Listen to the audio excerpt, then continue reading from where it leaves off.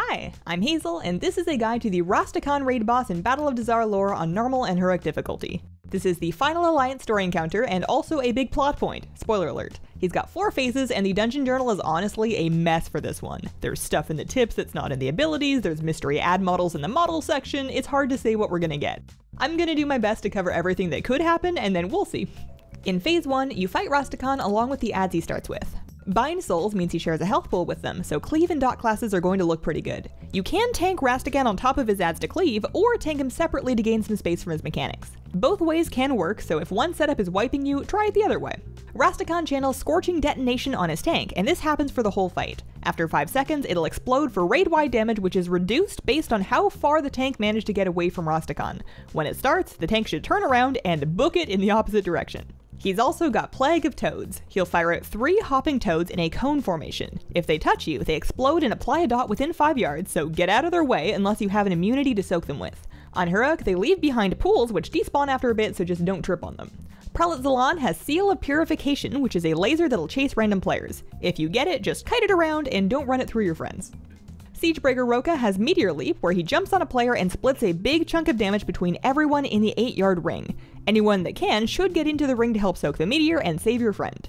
He's also got Crushing Leap for his tank. That is a big hit with a stacking debuff that makes the next one hit you 5 times harder. Seems like a good spot for a tank swap.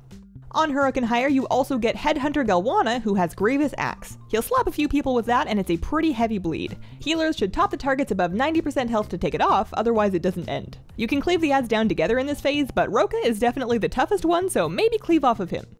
The other heroic upgrade is Rastakhan's Greater Serpent Totem. It'll point at someone nearby and spray some cone fire at them. Dodge the flame if these end up near you, but if Rastakhan's being tanked out in the wilderness, these may only affect his tank.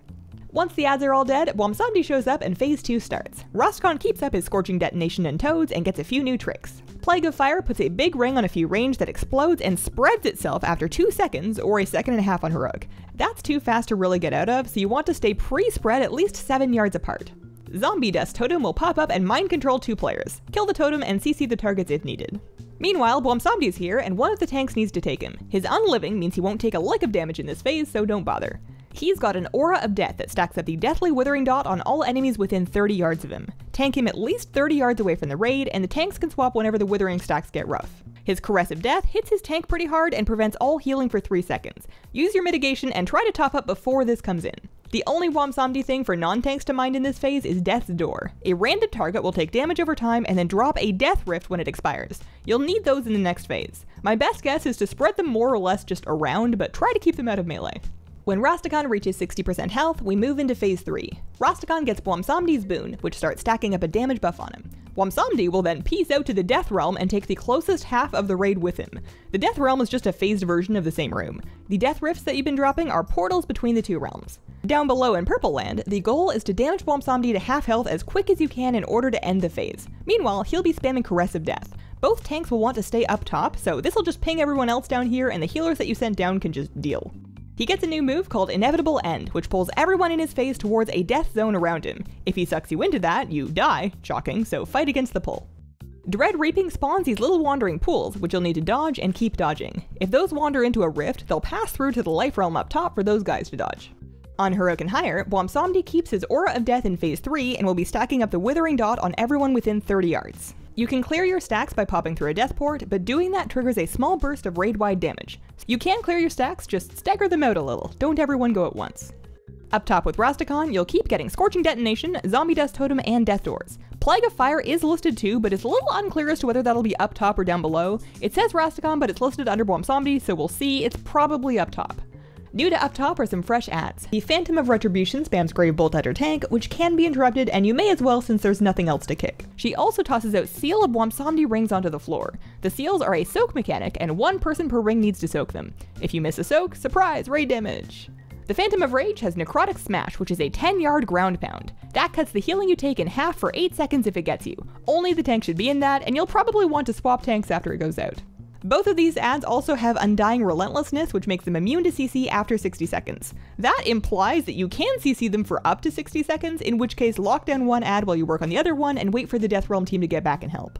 On Heroic and Higher, there is one more ad called the Phantom of Slaughter. That one channels Focus Demise, which is damage over 5 seconds that can only be kicked by its target. kick it if it's on you, or just heal through it if you can't. This one's got Undying Relentlessness too, so you might be able to CC it or use CC to kick it during that first minute that it's up.